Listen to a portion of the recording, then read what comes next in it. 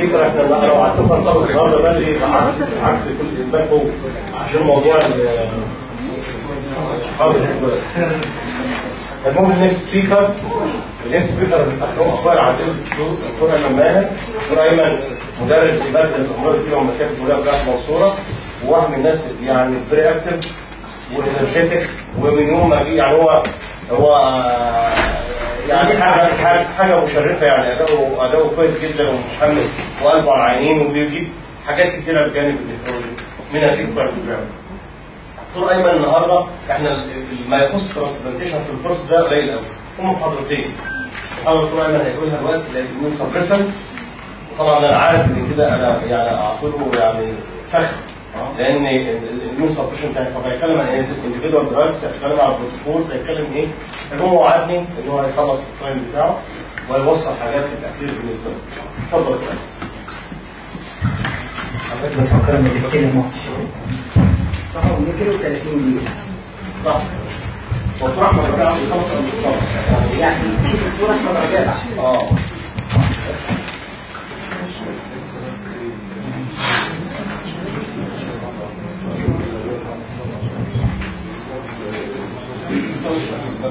في البداية برحب بحضراتكم وبشكر الدكتور حسين أستاذ العزيز. وهو هو يعني علمني النفرولوجي والايكوكارديوجرافي ده الفخر التاني بقى. حضرتك. التاني بقول فخر ليه؟ لأن أنا عشان اقنع من إن أنا أعمل بروجرام لأن دي حاجة سهل إن أنا بشتغل في المستشفى كل حد ايكو ايكو والعاملين وغيره كان لابد واحد يتعلم.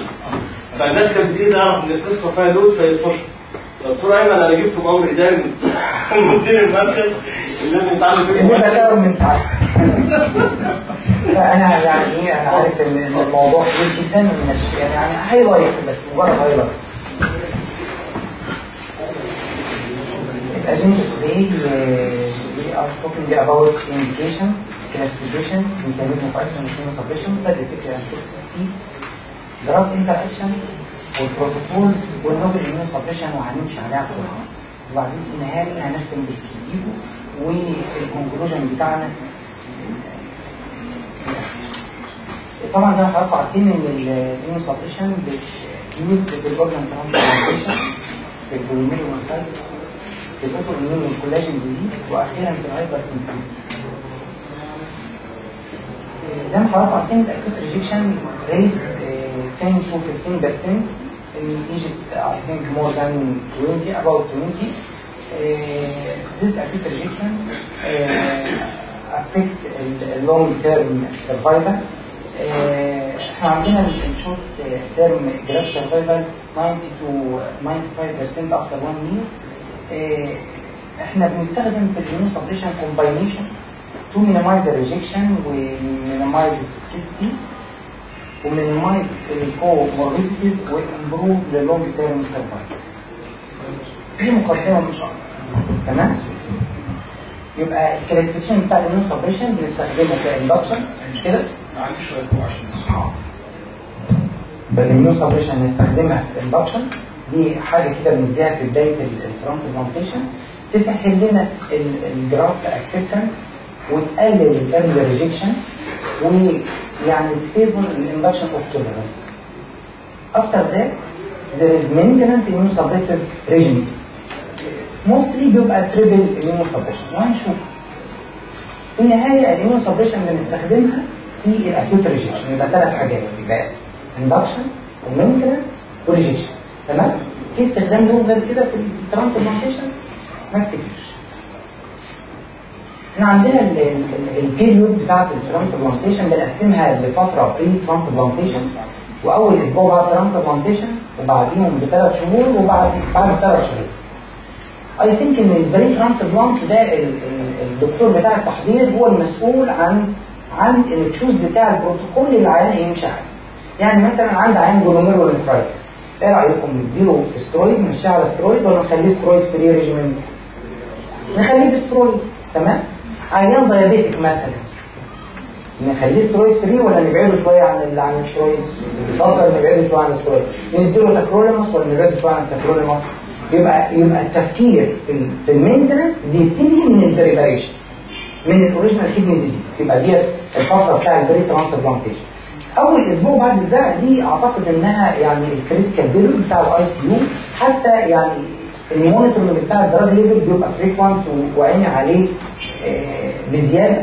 أول ثلاث شهور بعد ال transplantation دول أعتقد إنهم very critical بعد بعد ثلاث شهور بتبتدي الدنيا تهدى وال acute rejection ال incidence بتاعه بيقل. كان زمان إحنا ال transplantation بتاعتنا بدا في الخمسينات 54 مش كده؟ كانوا بي- بيستخدموا ال total body radiation علشان يعملوا immunosuppression. بعد كده في الستينات لغاية أوائل الثمانينات أعتقد لغاية 83 بدأ يظهر ال azathioprine وكانوا بيسموا ال combination بتاع ال steroid وال azathioprine ال conventional therapy تمام فضلوا ماشيين على على الوضع ده لغاية أوائل الثمانينات بدأ يظهر calcineurin حاجة اسمها سايكلوسبورين وكان صيحة غير عادية في التوقيت ده. مع ال conventional اللي هو ال steroid وال azathioprine كان ال graft survival حوالي 50% وال patient survival من 80 ل 90% أعتقد إنه كان يعني رقم حلو قوي في التوقيت ده. في أوائل ال- ال- التسعينات بدأ يظهر التacrolimus وال MMF وال sirolimus بدأنا نستخدمه في أوائل الالفينات. ال- التنوع الشديد ده بد- بدأ يدينا immunosuppression كتيرة بدأ يدينا choices أكتر بدأ يخلينا إيه نفكر نجيب ده مكان ده نعمل زي تباديل وتوافيق دي slide كده يعني برضه أنا نقلها من من presentation إن إن في أوائل الخمسينات ولغاية أوائل الستينات كانوا بيستخدموا ال radiation وبعدين ال azathioprine بدأ يظهر في الستينات لغاية الثمانينات بدأ يظهر السايكلوسبورين في 83 بعد كده ال tacrolimus وال MMF وال sirolimus في أواخر التسعينات هو ال basiliximab حاليا في investigational drug أو أو novel immunosuppressive therapy هنتكلم عليها برضه باختصار. في تنوع كتير هنبتدي بانه وهنستخدم انه هو يعني يعني إحنا مع بعض. أول نبتدي بال steroid ال mechanism بتاعها إن هي binding ال cytosol glucocorticoid receptor هتؤدي إلى suppression لل proinflammatory cytokine. بتعمل كمان inhibition ال arachidonic acid إيه، إحنا عندنا ال- الاسترويد بت- بتشتغل على ال leukocyte تزود ال- ال number بتاع ال neutrophil صح؟ وتقلل السيركوليتنج ليمفوسايت والمونوسايت والايزوفيل والبيزوفيل على function بتقلل ال trafficking بتاع ال neutrophil وتقلل ال leukocyte cellular immune function and immunoglobulin production بتقلل ال cytokine production specially يعني اللي يهمنا قوي ال interleukin ده slide برضه ال mechanism of action هنعدي بسرعة. عليه هي بتنهبت الأنتيجين ريكوجنيشن بتبروموت الانهبيتور نيوكلير فاكتور كابا بيتا وتسبريس السينسز بتاع ال interleukin 1 و2 و8 و tumor necrosis كان في الأول بيدوها supplement ال steroid دي supplement لل nephrectomy وال suprarenal gland extraction بدأوا بعد كده يستخدموها في الستينيات لل acute rejection حاليا إحنا بنستخدمها في ال rejection تمام؟ first line لل rejection بنستخدمها في ال induction protocol بنستخدمها في معظم البروتوكولات بتاعتنا يا إما هنكمل بيها يبقى maintenance steroid يا إما نشيل الاسترويد في أول أسبوع ونسميها steroid avoidance أو withdrawal ديت ال preparation بتاعت الكورتيكوسترويد إحنا اللي يهمنا منهم ال prednisone وال prednisolone ده ال active form بتاعه في ال liver ولو تلاحظوا تلاقوهم هما الاثنين شبه بعض في كل حاجة. ال methylprednisolone ده إحنا استخدامه لينا في ال pulse ده ال IV ده ال slide الشهير بتاع ال New England Journal وفي 3 signal model معلش هو غلس شوية وجتت بس عشان نفهم ال immunosuppression لازم نعدي عليه. هو في 3 signal ال signal الأولانية ال signal الأولانية دي عبارة عن إن ال antigen بيجي عن طريق ال antigen presenting cell تتعرف عليه ال T cell اللي هي اللي تحت دي. ال T cell وبمساعده السي دي 3 يحصل activation لل T lymphocyte ال T lymphocyte هيحصل لها activation هتعمل 3 signal activation عن طريق الكالسينيورين والميتروجين اكتيفيتنج بروتين كاينيز والنيوكلير فاكتور كابر دي في النهاية بتستيموليت الترانسكريبشن بتاع cytokines في في ال nuclear عشان ال signal 1 دي تتم لازم ولا بد وحتميا إن يحصل حاجة اسمها costimulation ال costimulation أو signal 2 دي عبارة عن activation ل signal 1 من غيرها signal 1 ولا كانها كانت تمام؟ signal 2 دي بتتم ما بين سي دي 28 تمام؟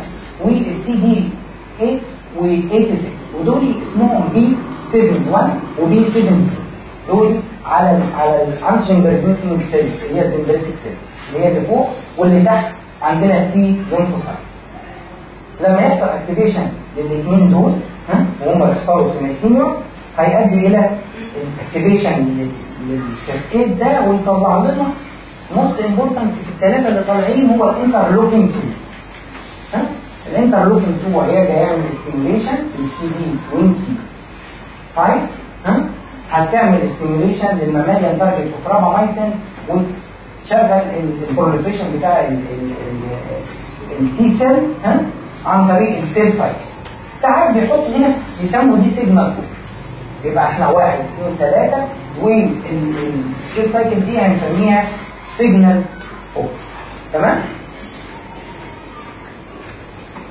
عن طريق ده نقدر نوضح ال- ال- ال mechanism of action بتاع ال calcineurin inhibitor زي ال cyclosporine وال tacrolimus هيشتغلوا على الكالسينيورين في المكان ده. تمام؟ الانتي سي 3 روكتاسترين تشتغل في الحتة دي. السي تي ال إيه ده اللي هو البناتا 6 ده نوفل اميونو سبريسيف دراجز بيشتغل على البوست ميلاتري باسوي هناك هنا ده شبه السي دي 28 يروح يلزق على الحتة اللي بيلزق عليها السي دي 28 بس ما بيعملش بوست ستيميوليشن يعمل انهبيشن للاكتيفيشن بتاع الانجين بريزنتيشن في عندنا انتي سي دي 154 ال ال ال الدرج ده نتيجة انه بيعمل برادي كارديا وصدمه كارديا الجسم وقف. ما عادش موجود. ده ال- الدرج الشهير اللي هو الكادريكسماب أو اللي هو السيميوليت ان سي دي 25 بيشتغل anti interleukin 2 receptor antagonist ال sirolimus أو ال rapamycin أو ال everolimus بيشتغل على الام 2 بيشتغل على ال segment دي ال azathioprine بيقلل ال proliferation وال nucleotide synthesis ال mycophenolic acid وال وال آه، ال novel drug ده ليه اثرهم على ال على ال- ال proliferation ثم anti proliferative drugs ال JAK 3 inhibitor دي بتشتغل على ال signal بتاع ال JAK 3 ودي حاجة برضه novel immunosuppression. آخر واحد في النهاية ده اسمه ال Campath ال anti CD 52 anti ده slide يعني هناخد منه بس إن اخر آخر signal اللي هي ال signal بتاعت ال cell cycle ديت هي signal 4 هو نفس اللي فيه. وده الاسترويد تشتغل في المكان ده وال calcineurin steroid تمام؟ يبقى إحنا إذا عندنا في purine pathway inhibitor اللي هم ال azathioprine وال MMF ال pyrimidine pathway ال leflunomide وفي novel immunosuppression و immunophilin binding agent زي ال calcineurin cyclosporine هيتحد مع cyclophilin inhibit ال calcineurin resulting in T cell activation decreasing عن طريق decrease في ال interleukin 2 synthesis ال tacrolimus بس هيتحد مش مع ال cyclophilin هيتحد مع ال FK binding protein 12 وهو ده بالمناسبة هو نفسه اللي بيتحد معاه ال sirolimus بس ال FK أو ال tacrolimus هي inhibit ال calcineurin إنما ال- ال sirolimus هيتحد معاه وي inhibit ال mammalian target of rapamycin تمام؟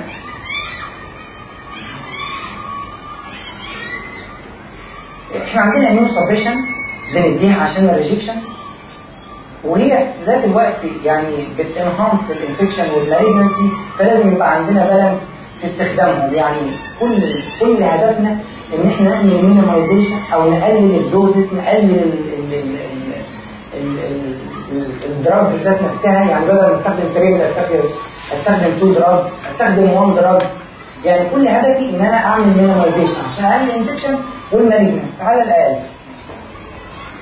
ده بالظبط علينا ال transplantation ممكن ياخد قد dose كده أو ازيد كل يوم. طبعا ال side effect على ال chronic immunosuppressive usage هي ال- ال- ال main side effects هي ال infection يا viral يا fungal يا bacterial ال malignancy special lymphoma وال skin malignancy لها toxicity على ال kidney وعلى ال heart ولها metabolic effects special diabetes وال osteoporosis وال hyperlipidemia ولها cosmetic effect زي ال cyclosporine ال hirsutism وال acne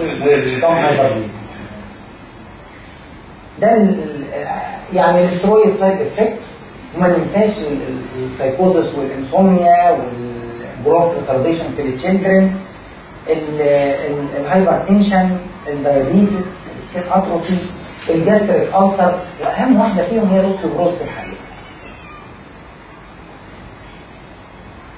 ده slide متاخد من ال presentation بتاع الدكتور حسين فعدى عليه بسرعة ان إن أي حد بياخد استرويد تلاقونا كاتبين له vitamin D و calcium supplement وبعدين بنعمل حاجة اسمها fracture risk assessment tool ال score ده بنحسب فيه عمر عمر العيان بنشوف جاله fracture قبل كده ولا لأ. بنشوف dose ه في استرويد أقل من 7.5 مللي جرام أزيد من 7.5 مللي جرام بال score ده بقدر أعرف العيان ده low risk ولا moderate risk ولا high risk في العيانين دول بحاول أستخدم ال alendronic في العيان اللي هو ال moderate وال high risk لو كانت جرعات الاسترويد ايا كان إنما في العيان اللي low risk بستخدم ال alendronic لو أنا أستخدم steroid dose أزيد من 7.5 مللي. جرام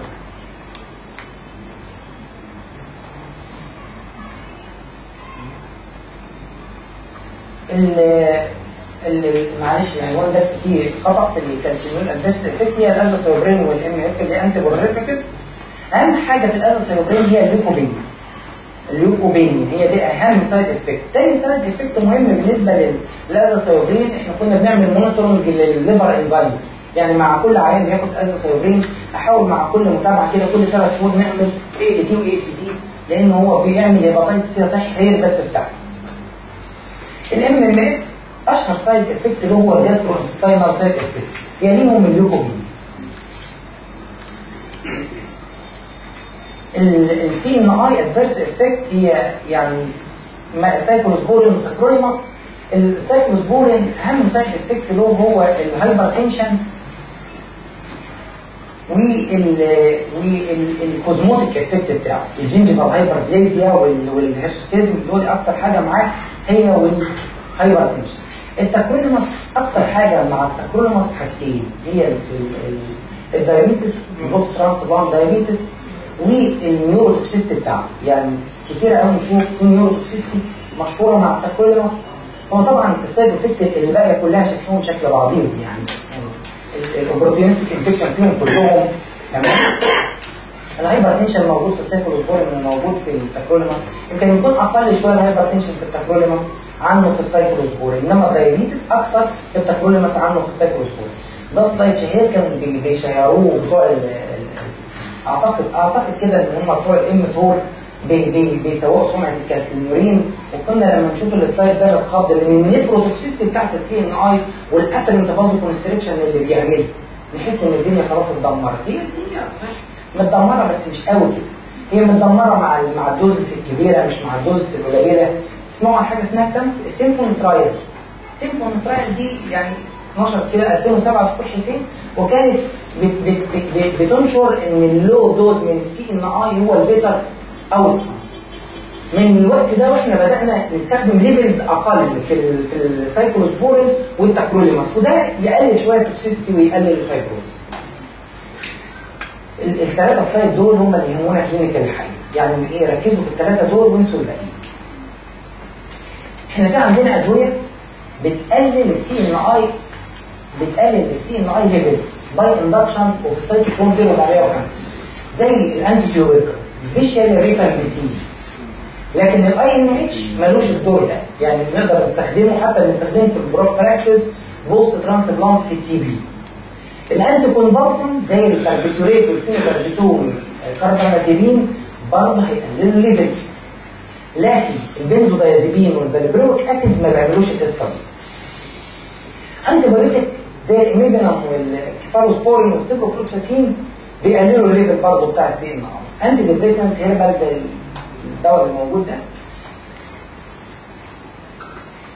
على النقيض من كده في أدوية بتزود ال CNI by inhibiting ال cytochrome P450 especially ال verapamil اللي هو ال Isoptin وال diltiazem ويقال إن هم بي بي بيزودوا ال level بحوالي 40% برضه أخلي بالي قوي قوي قوي وأنا بستخدمهم مع ال CNI ال antifungal agent لهم نفس التأثير especially ال ketoconazole وكنا زمان قبل ما يطلع warning عليه بنستخدمه في studies مع ال calcineurin نقلل ال- ال dosage بتاعهم ون- ونعمل boost effect ال antibiotic زي ال erythromycin وال clarithromycin antihistaminic زي ال cimetidine ال ranitidine له مع cyclosporine hepatotoxicity effect ال hormone زي الكورتيكوسترويد والتستوستيرون والكونتراسيبتيف فيلز الانابوليك سترويد سبيشال الكورتيكوسترويد في high dose يعني. حتى وانت بتدي pulse steroid حاسب على ال level بتاع السايكلوسبورين أو ال FK واعمل له frequent monitoring ال amiodarone وال carvedilol اللي هو صحيح أنا ما كنتش واخد بالي من الكارفيديرول ده دواء أنا بستخدمه يعني كتير قوي خصوصا ان له insulin sensitizing effect زي ما يعني دكاتره البطنة أساتذتنا كانوا بيقولوا بس شكله بي بي بيزود ال CNI من قصة إن الكيتوكونازول بيزود ال level of of CNI ويقلل السايكلوسبورين أو ال FK doses بدأنا نعمل حاجة اسمها co-administration of ketoconazole مع السايكلوسبورين ودي study طالعة من المنصورة و12 في 2001 زيها بالظبط عملنا FK مع كيتوكونازول ومع ال warning اللي بدأت تحصل من حوالي سنة ونص سنتين بدأنا نوقف الكيتوكونازول ونرفع تاني جرعات ال FK وال cyclosporine ونوقف ال ketoconazole usage. في مع ال مع ال azathioprine إحنا قلنا أهم أهم side effect ال azathioprine هو ال leukopenia. ال leukopenia دي ساعات بتزيد و aggravated مع ال allopurinol usage. أنتوا عارفين ال allopurinol بيستخدموه في الجو عشان يقلل ال activity بتاعت xanthine oxidase. ده له role برضه في ال metabolism بتاع ال azathioprine. يبقى المفروض وأنا بستخدم ال allopurinol مع ال azathioprine avoid avoid ال azathioprine أو avoid ال allopurinol لو أنا مضطر ال allopurinol يبقى أغير ال azathioprine بحاجة ثانية antiproliferative زي ال MMF لو أنا مش قادر أستخدم ال MMF أو في MMF intolerance أو في منه side effect يبقى لازم أقلل ال dose بتاع ال azathioprine بحوالي 50% أعمل reduction لل dose بتاع ال azathioprine عشان avoid ال leukopenia اللي بتحصل منه. أو أستخدم ال MMF instead of azathioprine ده stress شوية على ال side effect بتاعت ال immunosuppression يعني مثلا عندنا ال sirolimus ال sirolimus أشهر حاجة بيعملها هي ال hyperlipidemia يبقى ما اجيش عيان اخد stress أو hyperlipidemic واستخدم له sirolimus احاول أبعد عنه. حتى هم regularly بيستخدموا ستاتين مع مع ال sirolimus تاني حاجة ال sirolimus هي ال proteinuria برضه يعني عيان nephrotic ابعد عنه. ولو ممكن في الأول بيستخدموه في nephrotic syndrome عندنا عيان في hyperglycemia ابعد عن ال tacrolimus ال CNI especially ال tacrolimus تمام؟ عيان hypertensive حاول برضه avoid ال usage بتاع السايكلوسبورين. ال chronic kidney disease أو ال chronic allograft nephropathy برضه CNI نحاول نبعد عنها. في حالات ال infection بنحاول نقلل ال steroid dose وال antimetabolite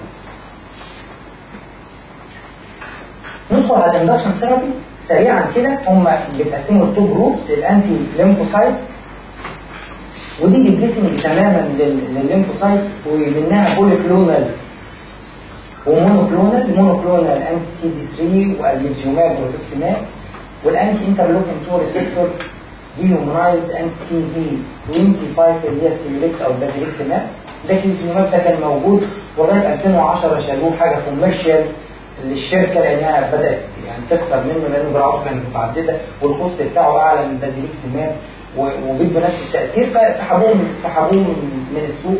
يعني آخر batch كان موجود 2010 نبتدي بال ATG كده hint صغيرة. هم في ثلاثة طيب من ال ATG في حاجة اسمها اتاجان وحاجة اسمها Thymoglobulin و ATG Fresenius اللي عندنا في مصر ATG Fresenius ده اللي إحنا بنستخدمه عندنا. ال ATG Fresenius ده بيطلع من ال rabbit وال Thymoglobulin ده rabbit برضه ATG ده بيستخدموه في أمريكا وبيستخدموه في ال induction therapy في كل العيانين ال risk patient عندهم بيستخدموا ال Thymoglobulin ده ال first line عندهم. هو بيطلع برضه من ال rabbit. اختلافه عن ال Fresenius rabbit ATG إن ال cell line اللي بيستخدموه في حقن ال rabbit عشان ي induce ال antibody ديت في في ال Thymoglobulin بيستخدموا human thymocyte إنما في ال Fresenius بيستخدموا leukemic cell line ال ATGAM قصه مختلفة خالص متحضر من ال horse ال polyclonal antibody أو ال ATG بنستخدمه في ال induction ولو في steroid resistant rejection بنحط ATG صح الكلام؟ ولا نمكن صوت الواطي والدنيا بص.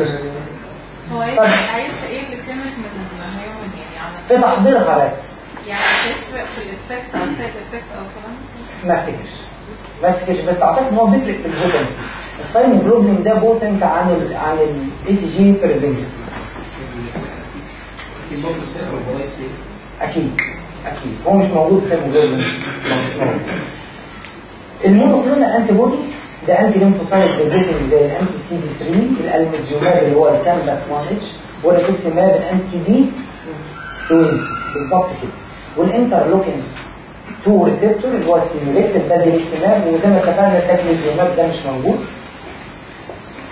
بنستخدم ال induction عشان نقلل ال incidence of acute rejection.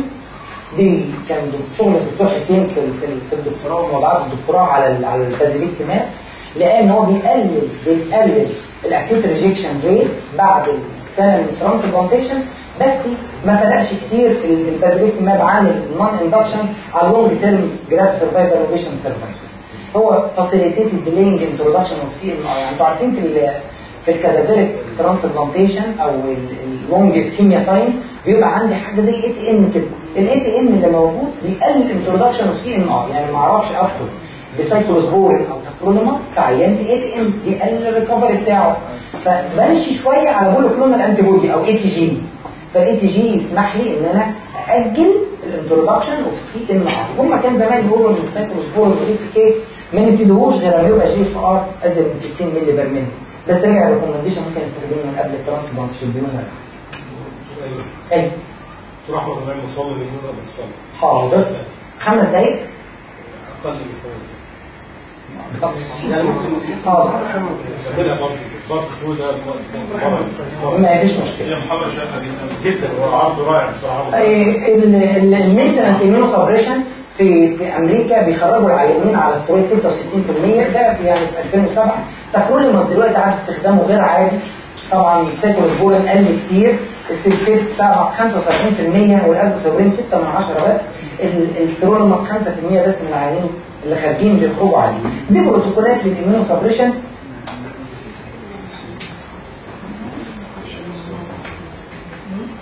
ال severe hyperlipidemia وال severe hypertension بيحصلوا مع ال cyclosporine وال steroid وال sirolimus دي دي تجميعة ثانية ال tremors بتحصل مع ال tacrolimus وال cyclosporine بنسبة أقل.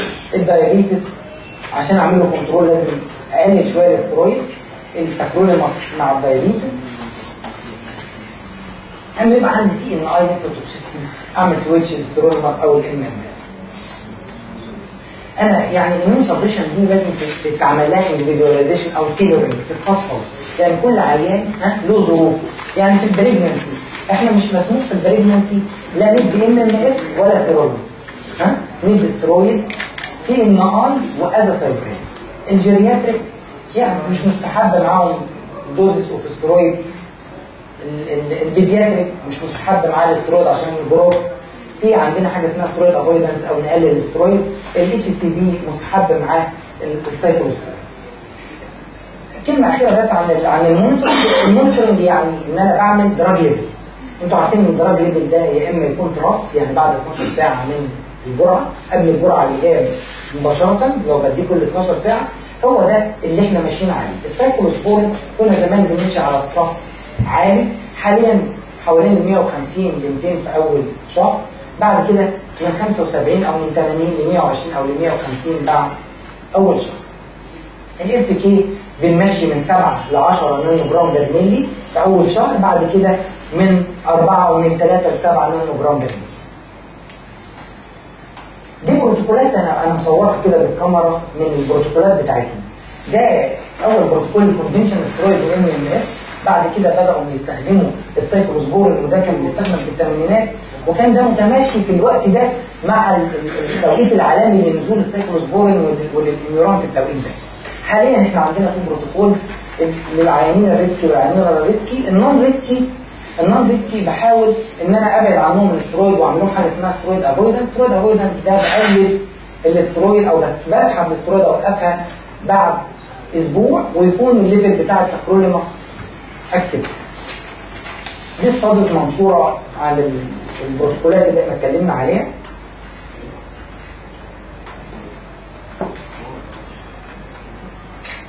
ال novel immunosuppression أنا هتكلم على يعني واحد بس يا دكتور حسين اللي هو ال belatacept. زي ما اتفقنا ال belatacept في الصورة دي ده ده ال- ده ال antigen presenting cell ال dendritic cell عليها سي دي 86 و80 اللي هم B 7 1 و B 7 2 بي عشان يحصل co-stimulation أو يحصل stimulation ل signal 1 لازم ال co-stimulation ده يحصل. ال belatacept أو ال abatacept هيروح يتحد مع ال CD 80 وال CD 86 ويقفل السكة بتاعت ال co-stimulation يعمل inhibition لل T cell proliferation دي فكرة ال belatacept أو ال abatacept وهم يومها هم لسه ما نزلوش ال market هم كلهم trials علشان إيه؟ Orencia موجود Orencia موجود Orencia تمام. ال side effect بتاعهم drop لل hemoglobin وال lymphoproliferative disorder في JAK 3 و JAK 3 inhibitors وفي inhibition لل cytokine molecule guideline في نوم الجروح بقى خلاص نقول ال conclusion يا دكتور حسين. هم slide واحد بس.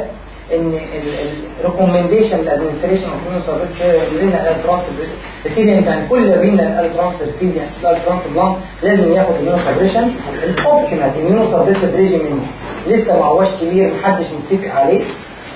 ال CNI decrease the incidence of rejection but there are associated with higher incidence of nephrotoxicity new approach strategy ال CNI minimization و avoidance ال steroid حاليا إن هم يشيلوا الاسترويد بعد أسبوع ويشيلوا ال CNI إحنا بنشيله دلوقتي بعد شهرين في بروتوكول ونحط مكانه ال mTOR وال novel immunosuppression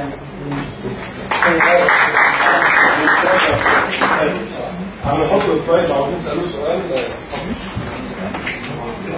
العافيه